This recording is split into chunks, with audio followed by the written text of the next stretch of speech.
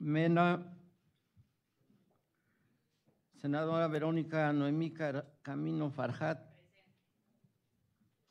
Senadora Blanca Judith Díaz Delgado. Senador Enrique Insusa Cázares. Senador José Antonio Cruz Álvarez Lima.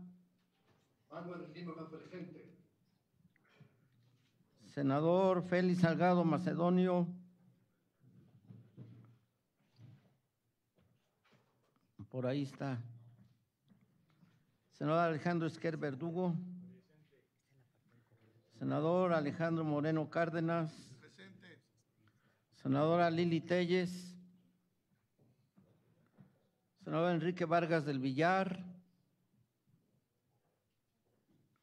Senadora Maki Esther Ortiz Vargas. Presente, presente acá. Gracias. Y senador Alejandro González Yáñez.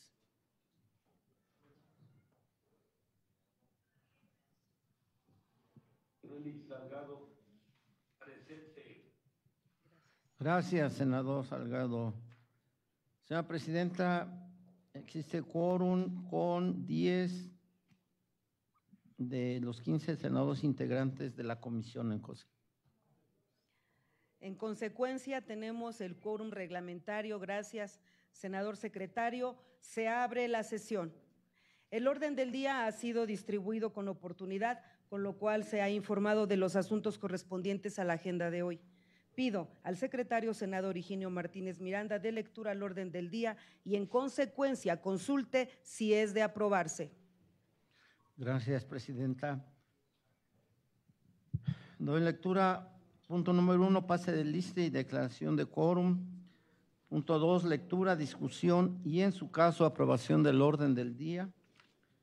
Punto tres, lectura, discusión y en su caso aprobación del acta de la primera reunión ordinaria que tuvo verificativo el 24 de septiembre del 2024.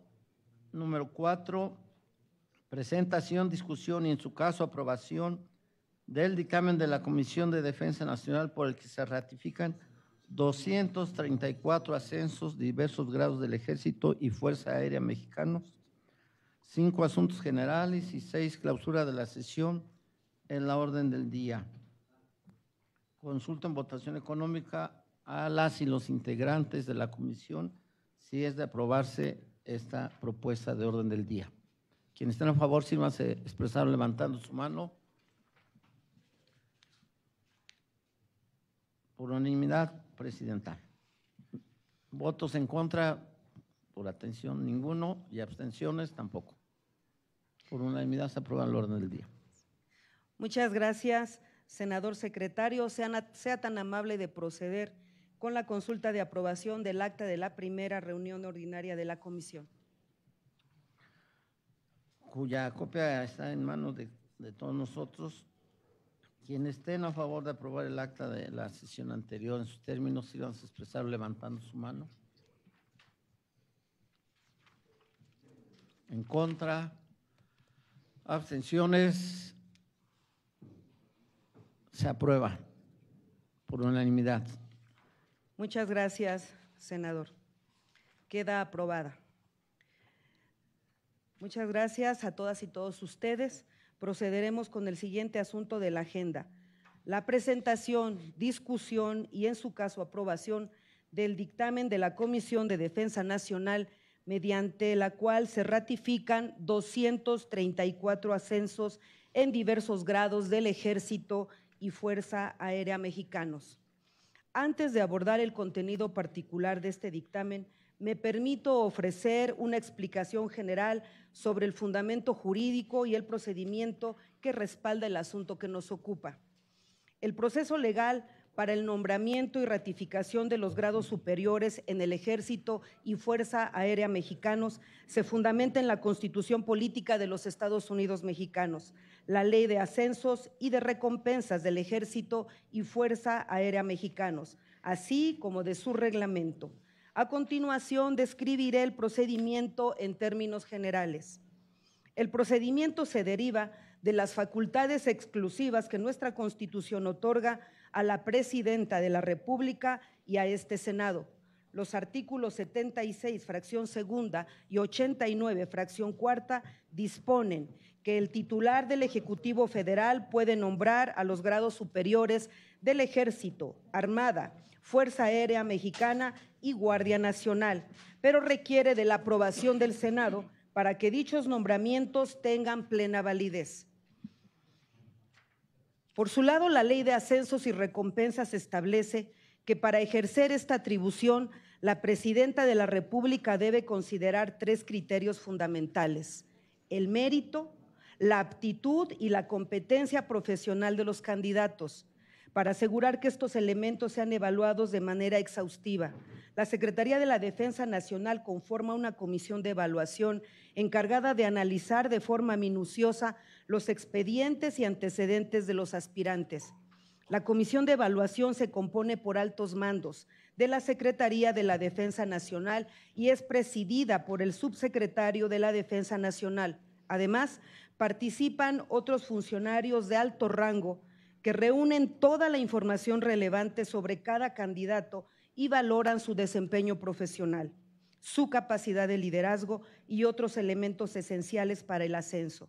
Este organismo cuenta con criterios específicos y objetivos que garantizan un proceso justo y transparente. Cada año, la Secretaría de la Defensa Nacional emite un instructivo de promoción superior que detalla los procedimientos, requisitos y motivos de exclusión para participar en el proceso de ascenso. En este sentido, las direcciones del Ejército y Fuerza Aérea identifican a quienes cumplen con los requisitos y representan como candidatos potenciales los ascensos que aquí se presentan.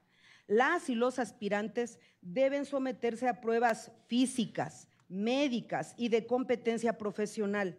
La comisión de evaluación les asigna una puntuación que integra tanto por sus antecedentes profesionales como los resultados de las evaluaciones y pruebas físicas.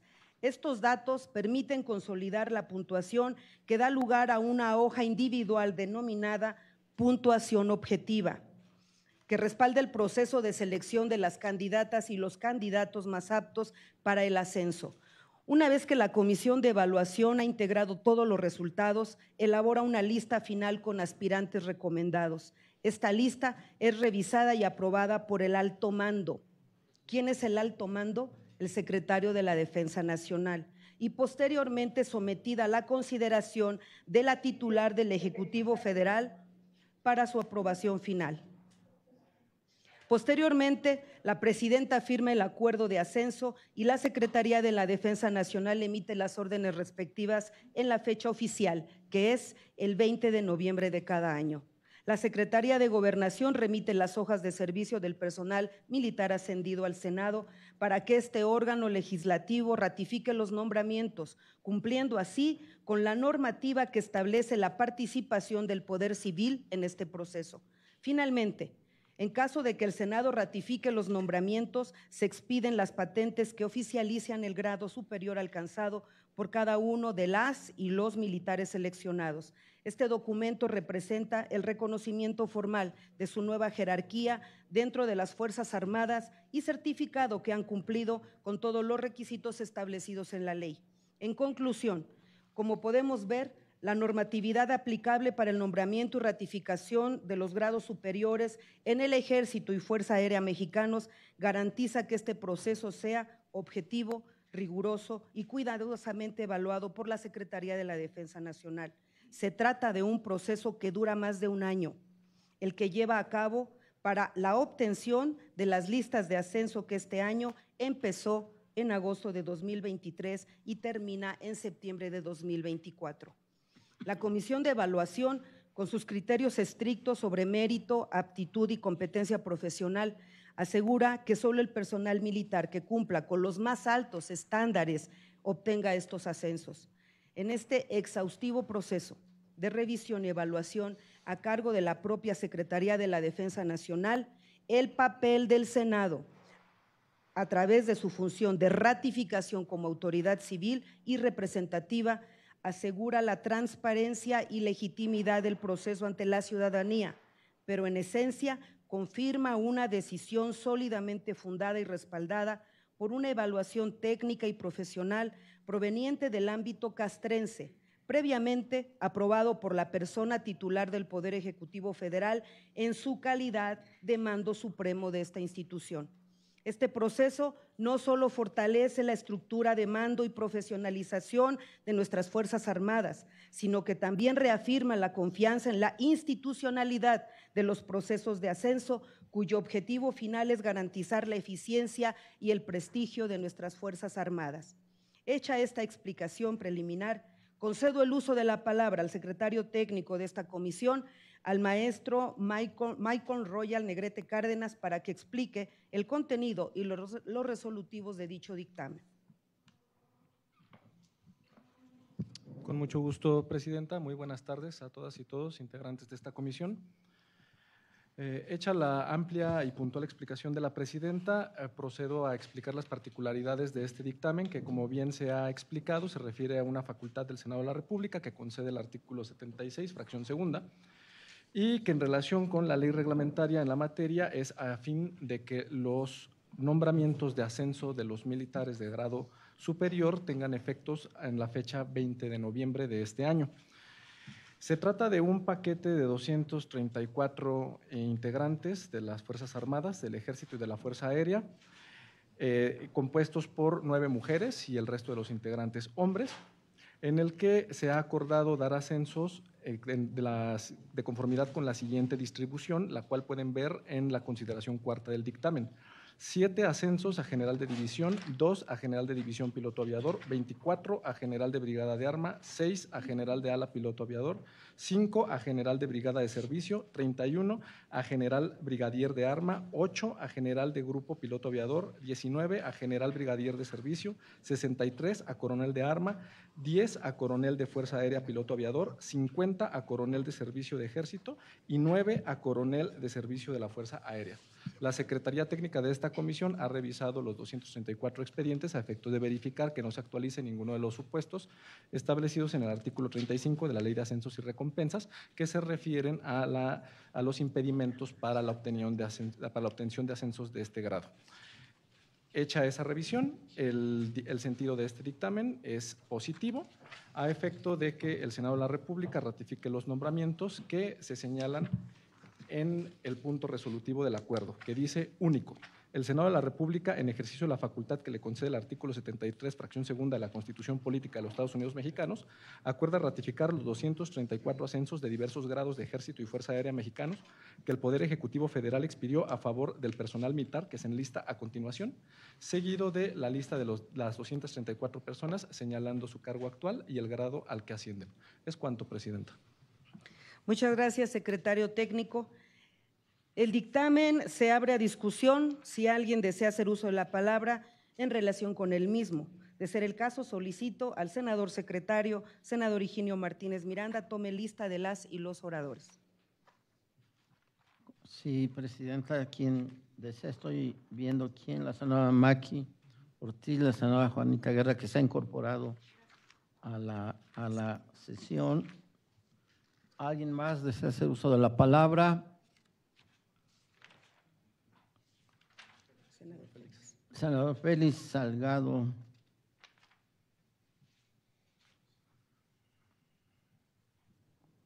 Por ahora son los que son. Adelante, ¿les puede dar el uso de la palabra en el orden en el que fueron registrados, por favor?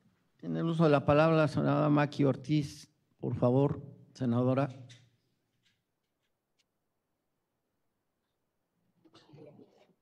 Senadora, Que prenda el micrófono. Si puede prender su micrófono, ¿Me escuchan? ya. Ah, Con su permiso, señora presidenta, senadoras y senadores integrantes de la comisión, así como no- los que nos acompañan a, a través de las redes del Senado.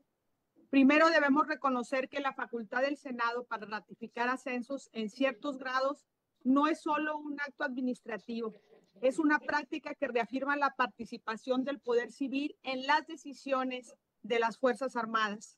Además, este proceso no es solo una formalidad, la ratificación de ascensos asegura que los militares que avanzan en su carrera lo hagan en base a mérito, profesionalismo y conducta ejemplar. Cada uno de los que hoy serán ascendidos, tengo la certeza que han demostrado capacidades excepcionales y un compromiso intachable con su misión. Por lo anterior, quiero señalar que estas ratificaciones de ascensos del ejército son importantes porque garantizan el control civil sobre el ejército, aseguran el mérito y el profesionalismo, refuerzan la transparencia y la legitimidad y promueven la estabilidad y la seguridad nacional. En conjunto, estas ratificaciones ayudan a consolidar la disciplina, la estructura jerárquica y la confiabilidad de las Fuerzas Armadas en su papel de proteger al país. Así que hoy celebramos más que ascensos individuales, celebramos la continuidad de un sistema que asegura que nuestras Fuerzas Armadas actúan con honor, transparencia y bajo los principios de un México democrático. Muchas gracias. Estoy a favor. Gracias, senador Ortiz. En el uso de la palabra, la senadora Juanita Guerra, por favor. Gracias. Buenas tardes a todas y a todos, compañeros senadores, con el permiso de la presidencia. Existe una palabra que identifica la cabalidad, la labor del ejército mexicano desde la historia misma en México independiente, es la lealtad.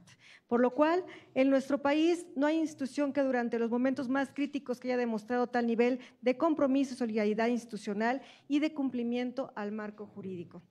El ejército mexicano y sus integrantes siempre se han caracterizado como un pilar y soporte de la salvaguarda de la seguridad, el orden social e incluso la constitucionalidad que da viabilidad legal a todo el componente normativo de nuestro país. Su labor y sus decisiones frente a los hechos que han marcado nuestra historia los ha colocado desde muchos años como la institución más confiable para cada mexicana y mexicano. Donde está un elemento del ejército, la gente se siente segura, tranquila, incluso como consecuencia de diversos estudios socioecológicos, así también como comportamientos de una persona en diferentes y mucho más ordenamientos respetuosos cuando se encuentra en presencia de quienes ostentan con orgullo el uniforme de las Fuerzas Armadas. No es casualidad, sino distinto, en el cual en nuestro país, con la mayor estabilidad política que es en Latinoamérica en los últimos 100 años, eso es consecuencia de contar con una institución, con nuestro ejército garante y salvaguarda de la soberanía nacional, al mismo tiempo de la estabilidad política y social de formación humana, que ha materializado incluso en los momentos más complejos. Por eso, para una servidora, desde este dictamen representa no solo la materialización de la facultad conferida por este Senado de la República en su artículo 76, fracción segunda de la Constitución, representa también reconocimiento, gratitud y de manera particular la tranquilidad de saber que nuestras Fuerzas Armadas son el semillero de líderes de mexicanas y mexicanos que saben estar a la altura de las nuevas exigencias. Un ascenso es un paso más en el escalafón de la trayectoria de la vida dedicada a las Fuerzas Armadas. Representa el más firme y contundente voto de confianza que el Estado mexicano da a sus integrantes. Nuestro ejército mexicano ha dado testimonio de la lealtad, porque leales son y sus integrantes desde la formación misma. Celebramos la deliberación de este dictamen, cuya aprobación delibera ser por unanimidad, por lo tanto, al cual la confianza de la ciudadanía ha depositado en las Fuerzas Armadas. Para las Fuerzas Armadas, nuestra total gratitud, nuestro respeto y nuestra confianza. El trabajo a diario de la institución con mayor prestigio nacional labrando la base de la nobleza, el esfuerzo y la valor refrendado en cada una de nosotros. Por eso, el compromiso de ser mejores mexicanas y mexicanos, tomando como ejemplo la disciplina, el amor, la lealtad a la patria, en su desempeño han demostrado los 234 elementos a quienes con ese dictamen se ratifica su ascenso. Enhorabuena para todas y cada uno de ellos. Es cuanto, presidente. Gracias. Gracias, senadora. Ahora tiene luz la palabra el senador Félix Salgado Macedonio. Adelante. Muchas gracias, compañero secretario Higinio y compañera presidenta. Ana Lilia, a todas, a todos compañeras y compañeros, senadores, miembros de esta importantísima Comisión de Defensa Nacional. Primero, hacer un reconocimiento al ejército mexicano en lo general, porque en los momentos más difíciles que hemos pasado, eh, incluso por desgracias causadas por fenómenos naturales, ellos son los primeros que llegan, siempre están presentes. Y cómo no decir que estamos agradecidos con ellos, eh, Sedena, Marina, Guardia Nacional, ahora a nosotros en Acapulco que nos eh, despiadadamente nos atacó el huracán Otis y luego el John. Y este y lloviéndonos sobre mojado y ellos siempre siempre estuvieron ahí presentes desde el primer instante desde el primer momento con el plan de N3 tienen una importantísima capacidad de organización y de presencia inmediata en ese tipo de casos y después continuaron ellos la Sedena entregando los enseres casa por casa a la gente. Llegaban a las colonias. Eh, vimos un ejército mexicano muy entregado. Entonces estamos muy agradecidos. Nuestra gratitud con ellas y con ellos, y digo ellas y ellos porque hoy nuestro ejército mexicano está conformado también por hombres y mujeres. Hoy de los 234 ascensos, 225 son hombres y nueve mujeres. Cada día se abren más las puertas del ejército mexicano para que nuestras jóvenes mujeres puedan ir engrosando sus filas en defensa de la patria. Y hoy más que nunca que hemos escuchado la voz de la derecha solicitar la intervención de otros gobiernos, Hoy más que nunca debemos de ratificar nuestra confianza y nuestra gratitud a nuestro ejército mexicano por el bien de la seguridad nacional, la seguridad interior, la seguridad social y hasta la seguridad pública. Recuerden que acabamos de aprobar la ley para que la Guardia Nacional pasara a ser parte de la Secretaría de Defensa Nacional. Así que se han, demostrado a lo largo de estos seis años que estuvo al frente nuestro compañero Andrés Manuel López Obrador, lealtad, capacidad y honor.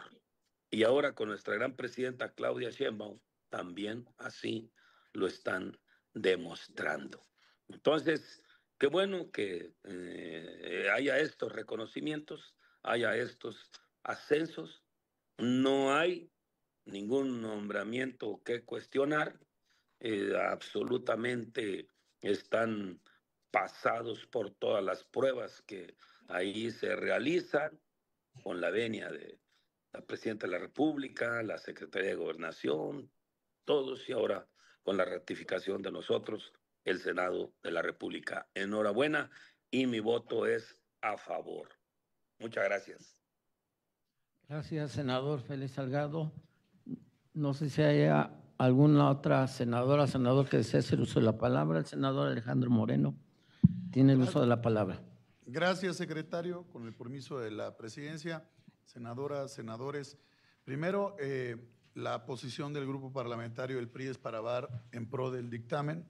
Nosotros siempre hemos tenido una posición no solo de respeto, de reconocimiento a las Fuerzas Armadas, el reconocimiento que hoy puede dar y otorgar esta propuesta, este momento importante que se presenta en esta comisión dictaminadora después de escuchar el, el cumplimiento de todo el proceso y de todos los requisitos que se requieren en el análisis del mando superior del ejército mexicano han dado cumplimiento cabal.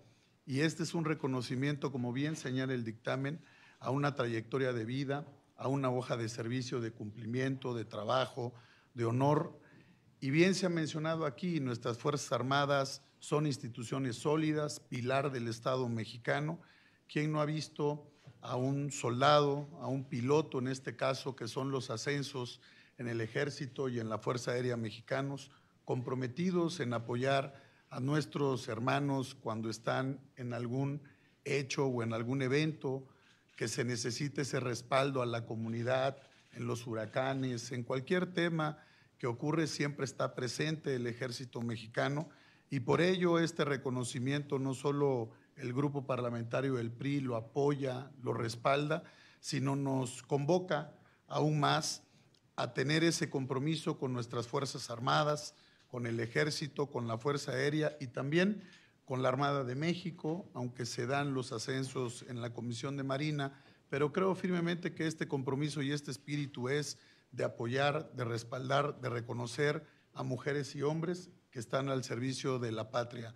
Fundamentalmente es tener claro que en cada marino, en cada soldado y en cada piloto hay un mexicano dispuesto a dar su vida por nosotros y el PRI no solo lo celebra, reconoce que hoy se reconozca a mujeres y hombres que siempre han estado al servicio de la patria, no solo en la seguridad nacional, en la seguridad, en la defensa, en el exterior y en la seguridad interior, con tareas tan importantes que hoy debemos de dejar muy claro la definición y la responsabilidad que tienen las Fuerzas Armadas en coadyuvar en la paz, la tranquilidad y la armonía de nuestro país. El voto del grupo parlamentario del PRI será a favor. Muchas gracias, senador Moreno. ¿No existe algún otro senador y senador más, presidenta, que quiera intervenir? Muchas gracias, senador Higinio. Le solicito consulte si se encuentra suficientemente discutido este dictamen por parte de la Asamblea y de ser positivo, le solicito que consulte de forma nominal a las y los integrantes de esta comisión su votación. Pregunto a las y los senadores si consideran que está suficientemente discutido este proyecto de dictamen. Quienes estén a favor, sírvanse a expresarlo levantando su mano. Gracias. En contra, abstenciones. Se aprueba por unanimidad que está suficientemente discutido, Presidenta, y procedo a lo que me solicitó, que es pedirles a las senadoras y senadores, y lo haremos en votación nominal, el sentido de su voto sobre el dictamen, el proyecto del dictamen. Senadora Ana Lilia Rivera Rivera. A favor. Senador Manuel Añor, Añor de Baños. A favor.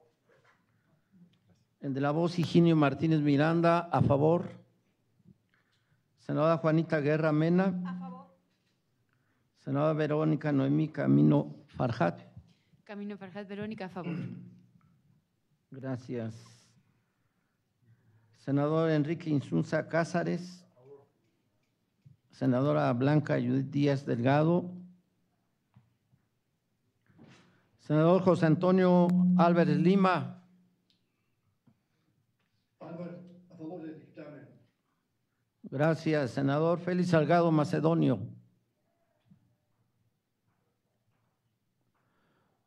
A favor. Gracias, senador Alejandro Esquer. Gracias, senador Alejandro Moreno Cárdenas. A favor. Gracias, senadora Lili del, María Lili del Carmen Telles García. No está. Senador Enrique Vargas del Villar. Senadora Maki Esther Ortiz Vargas. Ortiz Domínguez, a favor. Senador Alejandro González Yáñez.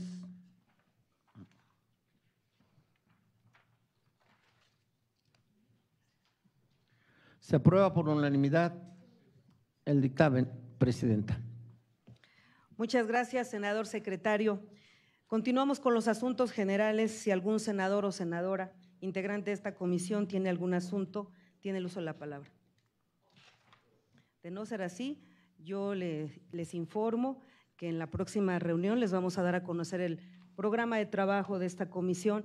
Hemos tenido un mes con una agenda muy saturada todas y todos, pero el día de mañana voy a tener una reunión con el secretario de Defensa Nacional, que abrirá el espacio para que tengamos un acercamiento todas y todos los integrantes de esta comisión. Les estaré informando sobre este asunto y por supuesto me da mucho gusto y alegría el haberlos visto, el lograr que tengamos por unanimidad aprobado este dictamen tan importante y nos vemos mañana en la sesión de ordinaria del Pleno en el Senado. Muchas gracias. Buenas tardes.